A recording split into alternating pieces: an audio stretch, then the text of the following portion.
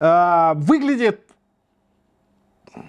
отвратно. Вот, фу, он жарился в каком-то миллиард назад залитом маслом.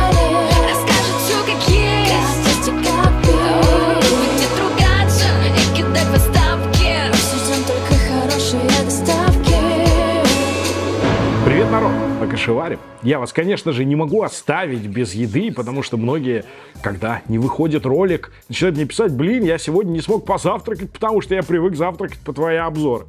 Вот, поэтому вот вам дополнительный, дополнительный материал, переобзорчик. Захотелось мне э, сделать перетест суши-шопа, э, потому что был он вечность назад, а суши-шоп один из ключевых игроков, и э, если суши-вок я э, делал переобзоры, то суши-шоп как-то нет. А я помню даже почему, потому что э, кажется, в прошлом обзоре мне попалась какая-то лютая хрень, что-то наподобие э, пропавшей курицы. Ну, что-то такое, что совсем за гранью. Что-то просрочилось.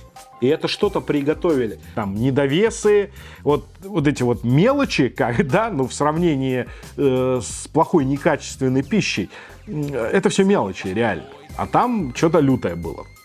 Вот. И я решил сегодня заказать, посмотреть вообще, э, как поживают эти ребята. Это тоже большая франшизная сеть, э, огромная. Естественно, как в любой франшизе, в плохой франшизе, можно делать всегда скидку на то, что, а, это какие-то там местные ИПшники косячат, а вот весь суши-шоп молодец. Ну, конечно же, это не так. Конечно же, если ты занимаешься и даешь свой бренд кому-то использовать, то это нахрен твоя проблема, что ты не можешь его проконтролировать.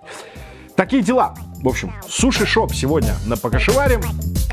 Заказ я сделал и жду.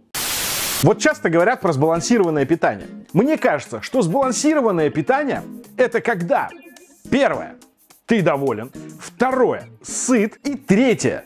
Когда у тебя есть какое-то разнообразие, даже если ты заказываешь в доставке. Вот как у наших друзей из доставки еды Foodband. С моим промокодом покашеварим все блюда Foodband. И привычные, и новинки будут дешевле. Хорошая скидка, многоразовая, хоть каждый день заказывайте. Доставляют круглосуточно по всей Москве. А еда разнообразная, что очень важно, когда в семье или в коллективе вкусы разные. Вот миланская пицца из печи с пепперони, грибочками, пармезаном, курочкой. Ароматная. Или моя любимая фудбенд груша блю чиз. Вот она. Она вообще для гурманов, но тем не менее это тоже итальянская классика. А если вы на диете или просто не хотите теста, берите разные роллы. Вот Аляска с креветкой, горбушей и икрой. Или поки. Гавайская кухня в фудбенд по моему промокоду тоже популярна. А еще есть остренькая лапша с креветками. Ну и закуски под футбол, конечно, тоже. Для предпринимателей у фудбенд имеется франшиза. Помогут с ребрендингом существующего или открыть новое заведение и доставку. По ссылке Ниже вся информация. А если хотите просто вкусно поесть, промокод по кошеварим в приложении Foodband работает многократно. Приятного аппетита! Одна из самых быстрых доставок. Очень шустро они привезли. Я заказывал через агрегатора, но доставил курьер а, самого суши-шопа. Довольно приятный мужчина, который пожелал приятного аппетита. А, за это респект. Я люблю Москву. Вот такой вот пакетик. Я действительно люблю Москву. Тут я должен признать, я родился в этом городе и живу. То есть, ну, я люблю Москву. Тут как бы попало, да? Э, ну что, конечно, стрёмно. По-моему, раньше были хотя бы брендированные пакеты. Давай рвать. Рвать Москву. Я не знаю, сейчас вообще можно так говорить, нельзя так говорить, хрен его знает. Э, такие желтенькие, как будто это какой-то мед. Горячее, холодное, все вместе, и никого это не волнует. Так, неприятных запахов пока я не чувствую. То есть вроде бы, э, вроде бы в прошлый раз как раз сразу в нос ударил неприятный запах. Вот такой вот заказик, который поместился э, в одном пакете. Обошелся он мне 3656 рублей э, с учетом сервисного сбора агрегатора. Давайте начнем как бы с горячей, теплых позиций. Э, выглядит отвратно. Вот э, что темпура, что вот запеченный ролл с шапочкой выглядит отвратно. Я уж не говорю про э, гунканы, которые абсолютно, ну, рукозато сделано. То есть, ну, гункан это же такая, такой штучный товар, который должен быть эстетичный, приятный, классный. Э, здесь же просто, ну, знаешь, а, как, как есть, так и есть. Ну, что делать? Давайте, давайте пробовать. То есть вот такой вот набор складывают они вместе. Тут горячие роллы, теплые роллы, ну, запеченные, да. Они не обязаны быть теплыми. И тут же холодные спайси гунканы. Э, такое себе. Ну, окей, я это просто принимаю. Палочки опять круглые. Многие из вас пишут, что им нравятся именно такие палочки, поэтому больше я бомбить не буду. Ненавижу такие палочки. Так, первый ролл запеченный с лососем, он должен весить 255 граммов. Весит 289. Ладно, вес соблюден. Что касается самого ролла, он максимально, ну, неаппетитно выглядит. Посмотрите просто на эти шапочки, они, ну, я не знаю, с лопатой навалены. Ну и сам ролл какой-то вот, э, какой-то темный, знаешь, такое ощущение, ну, не старый, но такой престарелый уже. Что же там внутри? Внутри у нас какой-то соус, то есть он такой весь э, склизкий, его прям трогаешь, он какой-то вот э, ли- липнет к рукам, что ли. Внутри сливочный сыр и огурец. Вот все, что есть. Снаружи икра масага. Здесь еще все полито соусом унаги, как заявлено, по крайней мере, в описании. Э, очевидно, какой-то соус есть, потому что тут, ну, все испачкано. Вот его прям э, из вот этой коробки я доставал, и он весь такой прилипал. Но соус унаги настолько, видать, у них дешманский, что его просто не видно. То есть он то ли растворился, то ли он такой изначально весь нахрен прозрачный. Ну посмотри. Стоит такой ролл 465 рублей, нулевая эстетика. Вот эта шапочка майонезная, она просто, я не знаю, из чего они ее выдавливали. да, Она какая-то, как вот, знаешь, я не хочу за едой об этом говорить, но реально вот понимаете, с чем ассоциируется, прям ровно вот так вот, спиралькой, и потом собака пошла гулять дальше. Так, ну ладненько, давай соевый соус. Соевый соус э, не их фирменный, то есть это делается э, на заводе 30 грамм со- соуса. Чуть более копченый соевый соус, чем я люблю, но в целом ничего. То есть, э, по крайней мере, он сделан комфортным. Бывает, что делают со- соус, который невозможно есть, прям вообще, ну, концентрированный э, соевый добавляют, это жутко, то есть надо его разводить, там вот этим всем заниматься. Не очень понятно, а что, кстати, э, с васаби и имбирем, то есть вот э, его просто в комплекте тупо нет. Тупо нет. Вроде его можно было добавить отдельно платно, но я что-то...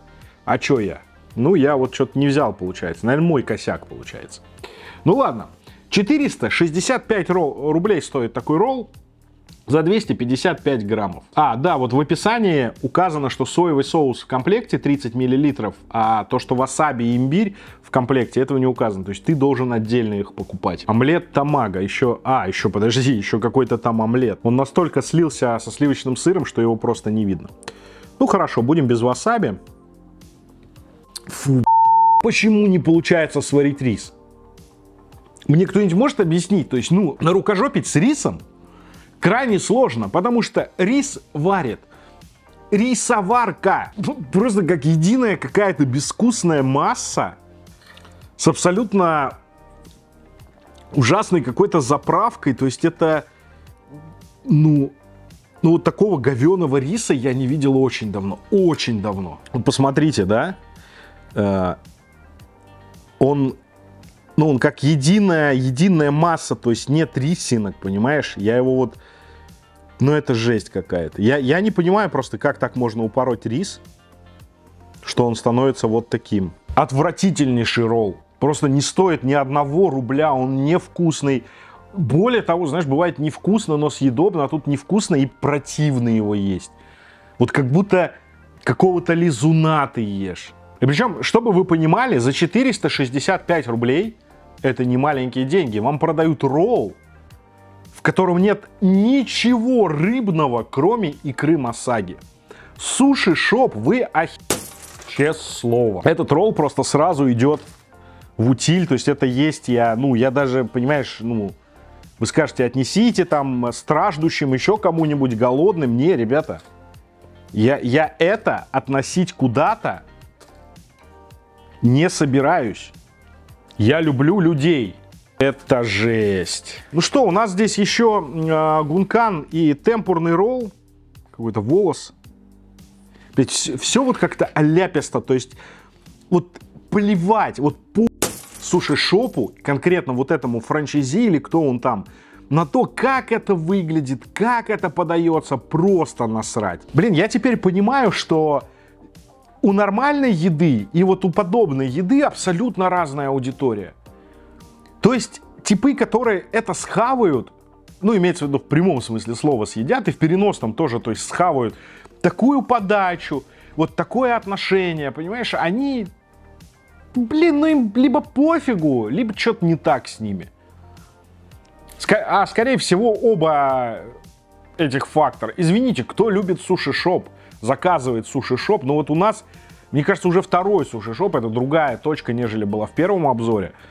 Вот. И оно так работает. И понимаете, ну даже если это та точка, то есть компания, которая занимается продажей франшиз и контролем, им похер. Они тот обзор-то должны были видеть. Они должны что-то поправить, должны контролировать. Да, много времени прошло, но у какого... Почему у кого-то получается контролировать? Кто-то, блин, ну, э, отдает всю душу, всего себя для того, чтобы а, то, что они сделали, а, выглядело хорошо а, перед клиентами, был качественный продукт, а кому-то просто срать. Ну просто срать, понимаешь? Позор. Темпура с креветкой 210 граммов за 399 рублей. 400 рублей стоит эта темпура. Выглядит она, конечно же, не так, как на фотографии, потому что на фотографии есть, э, блин, симпатичная какая-то посыпка в виде чернушки. Здесь просто нечто такое ну, фу, ну ужасно. Он даже вот внешне, э, вот этот ролл, он выглядит, как будто он жарился в каком-то миллиард назад залитом масле. То есть он коричневый не из-за того, что он поджарился, и не из-за того, что он полит вот этим, опять-таки, убогим соусом унаги. Он, он такого цвета, потому что масло там не менялось, наверное, блин, со времен Очаковских. И, может быть, даже покорений Крыма. Но сейчас такие фразы говорить не надо. Поэтому просто Очаковские. Ребята, ну это, конечно, ну это выглядит всрато. Темпура с креветкой, там вот на фотографии изумительно, понимаешь? Здесь какое-то вот серое, серое нечто. Ну вот реально, ну посмотрите.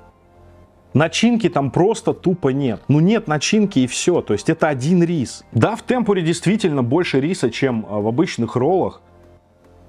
Но не столько же.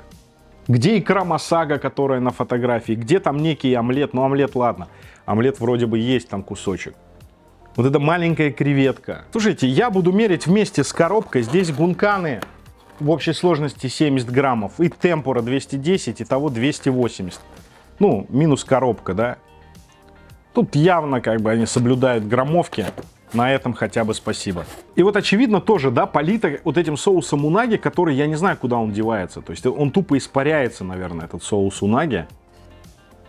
Ну что, давайте я съем ломать риса Блин, реально, суши-шоп. Я понимаю, вот креветка нормальная даже. Нормальный креветос. Ну как, выглядит нормально, по факту сухой, но не резиновый. То есть, скорее всего, он отваренный, замороженный несколько раз, поэтому он мягкий. Благодаря многократной заморозке креветка становится мягкой, это успех. Тоже лайфхак, блин, для плохих компаний. Замораживайте сто раз, он будет мягкий. Лосось это, конечно, убого, но креветку Креветки даже в плюс получается. Наверное, одна из самых отвратительных темпур, что я ел, потому что, я уж не говорю там про нарезку, слушай, ну вот, ладно, давай скажу. То есть, вот ролл, да, и вот ролл. Тарапунька и штепсель нахрен. Короче, ужас. Темпура вымокла. Но это с доставкой происходит, такое бывает. Э, даже если бы она была хрустящей, ничего бы не поменялось. То есть это все равно пережженное масло, это все равно один рис. Рис, как в предыдущем роле, точно такой же, плюс еще дополнительно температурно обработан. То есть это абсолютно лютая херня. Блин, ну я не знаю, кто это ест. Ну давай гунканы еще посмотрим, может быть это интересно будет, черт. 400 рублей ты платишь, понял? Гункан 120 э, рублей, 35 граммов. Я взял два гункана с угрем и с креветкой, цена у них абсолютно одинаковая. Просто посмотрите, да, то есть это сделано так, э, как будто о нас не думали. То есть просто они даже не перемешивали в какой-то отдельной плошечке там рыбу э, с соусом. Они просто наложили туда куски рыбы, Надеюсь, хороший. Да, ух ты, посмотри. Тут хорошие куски угря положили. Вот это нахрен успех. Не какие-то остатки, а хорошие куски угря. Причем немало. Я удивлен. То есть, ну, обычно в таких историях абсолютно э, кладут всякую дрянь, которая не пошла там кожу, жир, который срезается с угря. Но в данном случае они, видать, ничего не срезают с угря, но все идет на другие роллы. Мы там посмотрим потом, как они разделывают. Ну, то есть здесь хорошая рыба. Нифига. Очень невкусный спайси соус. Он такой, они точно в свой спайси замешивают э, что-то острое, но это как будто бы не шрирача. Как минимум, это не шрирача с орлом. Где мой напиток? Я же заказывал нахрен напиток. Они действительно не положили напиток. После чего я написал э, в агрегатор о том, что это, значит, произошло. Агрегатор мне дал 200 бонусов. И позвонили, спросили, можно ли дать ваш контакт э, суши-шопу, чтобы он с вами связался и урегулировал этот вопрос. Я сказал, не надо, мне достаточно возвращенных баллов. Тем не менее, мой телефон попал в суши-шоп. И суши-шоп на следующий день не звонил. Поэтому, деливери, какого хрена? Суши-шоп, какого хрена? Сука, косточка попалась. Но для угря, принципе, это законно, что иногда попадаются косточки. Разделать угря так, чтобы не было ни одной косточки, практически невозможно. С одной разделанной рыбой по, по любому паре клиентов э, попадется, попадутся роллы с маленькими косточками. Они не опасные, ну, конечно, в идеале, чтобы их не было. А еще дело в том, что есть дешевый угорь, есть подороже угорь. Подороже угорь, он, как правило, крупнее, и там проще разделаться с костями. Компании наподобие суши-шопа, они покупают все самое дешманское. То есть вот э, почему у них спайси невкусный? Потому что у них самый дешевый острый соус замешан с самым дешевым майонезом. Все очень просто. Они покупают не шрирачу, там, с орлом, да, тайскую или вьетнамскую, я уж не помню. Они покупают какой-то там, типа, может быть, даже вот такой привкус, э, как будто, знаешь, э, кочудян туда замешано. Она, она опять-таки, это не дешевая паста, но просто есть среди кочудянов корейских паст есть дешевые варианты. Вот она с привкусом каких-то типа бобов, что-то такое. Кориандро-бобовый вкус такой. Вот, ну, представьте, вот бородинский хлеб, э, фасоль и вот что-то среднее по вкусу в этом спайси соусе. Мне не нравится такой. Ну и давайте второй гунканчик изучим, да. Здесь-то что у нас? Креветка. Причем креветка, посмотри, они не режут мелко, они вот ее какую в ролл добавляют, такими же кусками и сюда добавляют. Ну, на самом деле, гунканы, вот несмотря на то, что есть опять-таки оляпистость и торопливость, да, вот накидали сверху, залили соусом, гунканы сделаны не по-жлобски.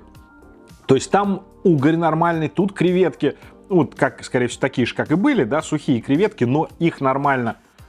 Но в целом вот небрежность есть. Ну, можно, спайсики можно съесть. Майонез разруливает. У нас есть еще мидии. Посмотрите, тоже кое-как сратенько сделано, навалено, лишь бы навалить, короче. То есть не про эстетику, а я всегда говорю, что суши и роллы это все-таки блюдо не, про, не совсем про поесть. Это про получить удовольствие от вкусной, свежей рыбы, хорошего сочетания. И, конечно же, а, чтобы все это выглядело красиво и здорово. В данном случае прям вот тотальная, тотальная какая-то жесть. Мидии 529 рублей, 5 штучек, небольшие мидии 160 граммов. Ну, граммы в мидиях мерить не, не имеет никакого смысла. Давайте просто сравним, как это выглядит здесь и как выглядит на картинке. На картинке красиво выложенный соус, здесь навалено из пакета. Что тоже законно, но все-таки чуть менее эстетично, чем хотелось бы. И лимончик. Мидия со спайси соусом. Мидии целые, даже почищенные. Давайте посмотрим, что там внутри. Внутри там мидия, кстати, вполне себе неплохого размера. Банальный неинтересный соус для запекания. Майонез смешанный э, с икрой масага, она же мойва. И, и все, и мидия. Мидия нормальная, даже не резиновая. Хотя как сделать резиновую мидию я даже не представляю, потому что мидия приезжает уже отваренная и замороженная. То есть для того, чтобы э, упороть мидию, тебе надо ее добавить в суп и варить еще какое-то долгое время, но так никто не делает. Их просто размораживают, покрывают соусом, запекают и поливают э, каким-то еще соусом дополнительным. Э, в данном случае унаги, который что? Правильно, унаги куда-то делся. Вот такой вот унаги в суши-шопе. В целом, мидии съедобные, но бывают в 100-500 раз вкуснее. Вот все, что могу сказать. Но, по крайней мере, здесь нет какого-то а, лютого зашквара. Давайте посмотрим роллы. Я взял целых три ролла, чтобы оценить весь ассортимент суши-шопа. Я имею в виду ассортимент по а, морепродуктам, потому что у них есть угорь, есть лосось, есть креветка. Тунец, по-моему, мне вообще нигде не попадался кажется, нигде. Э, вот, в общем, вот такая вот рыба. И причем я должен отметить, что выглядит в целом, не сказать, что отвратительно. То есть тут аккуратно, э, даже свернуто, на удивление. Э, пахнет, значит, от Калифорнии пахнет кисло. Пахнет кисло, я думаю, что за счет чего? За счет заправки. Наверное, тут рыбой покрыто, поэтому не чувствуется запах. Калифорнии запах такой неприятный, знаешь, дешевый уксус какой-то, ну, обычный совершенно уксус для заправки они используют, не какой-то там мирин, еще что-то, нет, не, невысокого качества. То есть вот такой кислота с запахом э, старых ношенных носков. Извините, кто ест. Ну, вот как бы описываю, как есть. Но свернуто при этом неплохо. Роллы у них стоят Филадельфия 439 рублей, Калифорния 392, а Филадельфия в Угре 500 41 рубль. 200 граммов, 225 и 245. Все вместе это должно весить 670 граммов. Опа! Весит даже с перевесом 772. Ну что, давайте начнем с Филадельфии.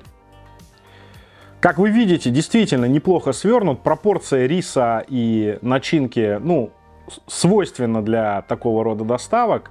Рыбки кусочек ну, тонковат, но в целом не критично. Рыба немножко такая подуставшая, но не самая плохая, что мы видели э, за всю историю обзоров. Даже где-то как-то она вроде бы даже блестит.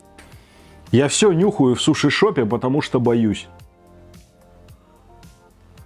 Удивительно не катастрофично. Рыба э, еще живая, то есть это заморозка, это не охлажденная рыба, но она еще живая.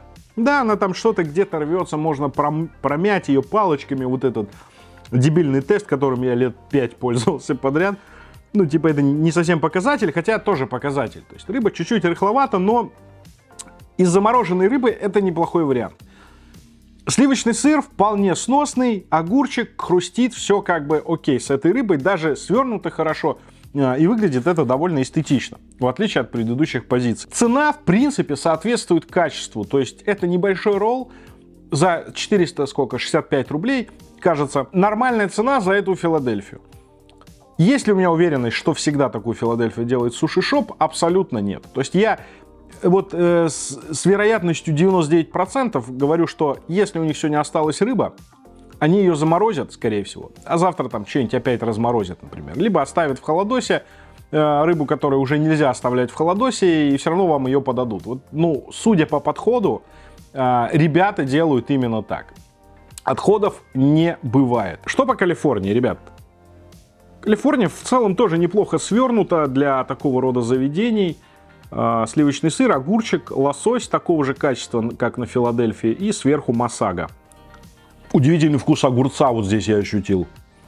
То есть он никакой просто. Дай-ка я отдельно огурец бахну. Огурец, который не имеет вкуса практически. Что с ним не так? При этом хрустит нормальный. Может, у меня какой-нибудь ковид очередной? Да не, тотальная проблема, вы поняли, да, это рис, то есть рис в каждом роле. Вот единственное, где более-менее почему-то рис мне э, показался не, ну, он не так на себя отвлекал внимание, вот этот клейстер, это в гунканах. То есть в гунканах почему-то вот спайси соус этот их невкусный, и довольно большое количество вот этого майонезного соуса, и начинки тоже много там. Отвлекли от риса, и вот я там не, не страдал от этого. Здесь же, что в Филадельфии, что в Калифорнии, вот это вот э, ощущение пластилина, оно ну, просто доминирует. То есть э, удовольствие от этого ролла ты не можешь получить, даже несмотря на то, что э, как бы в целом начинка тут, ну, как бы нормальная. Если бы здесь был нормальный рис, это можно было бы съесть. То есть это Калифорния, которая вполне была бы съедобной. Ну и Канада, точнее это не Канада, это Филадельфия э, Филадельфия с угрем. Чуть-чуть, конечно, кривоватенько выглядит, вот обратите внимание.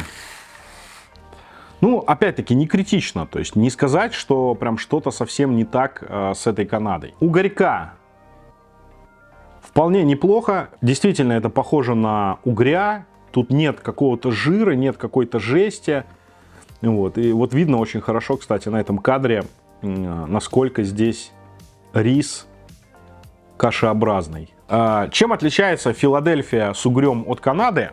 Ну, казалось бы, да, выглядит он как Канада, но называется Филадельфия с угрем. Просто в Канаду принято добавлять внутрь еще кусок лосося. То есть Канада, он э, сильно дороже ролл, чем вот подобная реализация э, такой а-ля, а канадистого ролла, короче.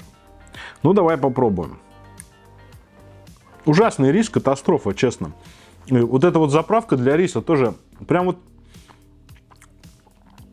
то есть ты ешь, у тебя вот четкое ощущение, что тебе сделали еду из самого дешевого. Есть бескомпромиссные рестораторы и заведения, которые делают бескомпромиссно хорошую еду. Вот. А есть заведения, которые делают бескомпромиссно говеную. То есть, ну, э, кто-то старается покупать там все самое хорошее, чтобы угостить своих гостей, а кто-то покупает, ну, самое дешевое. В данном случае это просто тотально вот я представляю руководство суши-шопа, э, они берут прайсы от поставщиков, и там в одном прайсе у тебя там замороженная рыба, охлажденная рыба, Фарерские острова там, или Мурманск какой-нибудь, да? И они такие, что дешевле, вот это берем. Вот что дешевле, то и берем, короче. Из этого вам делают продукт. Причем я бы не сказал, что дешевый. То есть вот мидии 560 рублей, там а Филадельфия, да, под 500. Это, это не сказать, что дешево. Это маленькие роллы э, с говенными ингредиентами, и как бы ты за них платишь-то все равно немало. То есть это тебе не дошек, хотя и дошек сейчас стал стоить немало. Я не знаю. Э, в общем, э, тотально, если вот э, прям резюмировать, это говно полное. Если пытаться выгораживать э, суши-шоп, то где-то что-то можно найти, за что их похвалить. Надо ли это делать в данном случае? Я считаю нет, потому что приоритет это все-таки итоговое ощущение, которое ты чувствуешь от этой еды. Вот у меня ощущение, что я не хочу это говнище есть вообще ни при каких обстоятельствах, даже если мне доплатят. Вот, за, ну, за такую еду я не знаю, есть клиенты, которых э, эта еда устраивает. То есть, ну, живет же суши-шоп, и я уже, причем вот хотел сказать Суши Вок, а Суши Вок-то не относится к этой когорте. Вот последний обзор Суши Вока показал, что может быть компания того же ценового сегмента, но на голову выше. И аккуратнее, эстетичнее. Как бы не пофигу. Вот такое ощущение сложилось от Суши Вока последнего.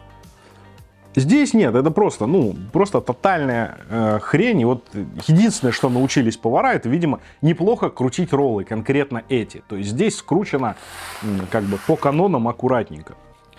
То есть, ну что, вот хоть одна зацепка, по которой я мог бы э, там сказать, что можно брать в этой компании, не найдено, ни одной такой зацепки нет. Тотальная хрень.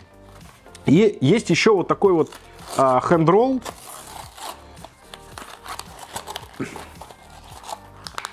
А, ну это просто, получается, жареный ролл, да? Называется это все фаст тунец краб. Вот, видимо, все-таки тунец где-то да есть, хотя я его не вижу. И стоит 254 рубля. Весить этот фаст должен 240 граммов. А, первый недовес мы фиксируем, но окей. Давайте посмотрим, что в составе. В составе, вот здесь вот, кстати, рис выглядит лучше, будто бы. И как будто бы, смотрите, вот э, пожаренный кляр не так убого выглядит, как на первом роле. В общем, здесь э, огурчик, вот я вижу майонез и крабовые палки. Вот все, что я вижу. Тунца я здесь не наблюдаю вообще. И салат чука, кажется. Ну давай, крабовые палки это вообще тема. Вообще непонятно, где там тунец. Но сегодня из всего, что мы с вами ели, это самая съедобная штука. Здесь нет тунца, но здесь есть довольно сочные водоросли чука, они же водоросли вакаме с ореховым соусом. Здесь крабовые палки с... дешманские, да, не, не удивляйтесь.